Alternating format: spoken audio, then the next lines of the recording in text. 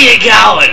This is one of the newest installment of Michael's Wacky Wild Adventures in the Wonder Theme Park of Destiny Trees, Bugs and Animals Show.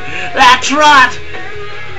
I've come to you because I found the one one of the most insane characters that there are on this planet.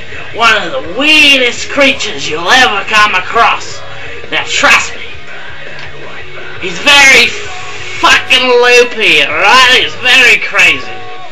He's just not what you would expect to see in the wild because he comes from the Amazon.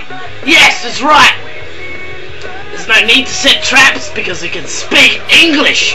It's quite rare in the wild to find a creature that can actually speak the English language. I guarantee you, you will be surprised, mate. Guarantee you.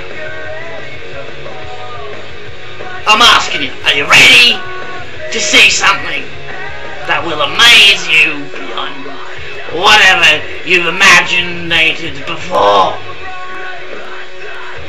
He's right here, right now. Who the fuck are you?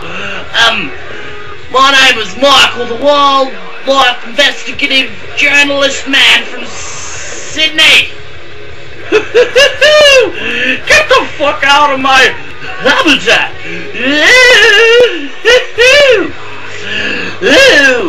boing, boing, boing. Anyway, if you don't stop being insane and loopy and jumping around, I'm gonna have to tackle you right to the ground, okay? Fuck you! this guy's an asshole. This guy is so stupid. I'm just gonna kiss him and then I'm gonna kick him in the nutsack. Oh my god, the Oh, not my nuts! You hit me there and it hurts me! You crazy animal, you! Let's I'll take you down and to sleep out! what you gonna do? Oh, he's arrested! Oh! oh! That was insane! He almost bit my testes! My testes very gently fragile, you know? It's not the way it should be! Well, anyway, that should be it for this installment of Michael's Wacky Bushback Adventures in the Amazon with tigers that are baby versions of tigers. Have a nice day.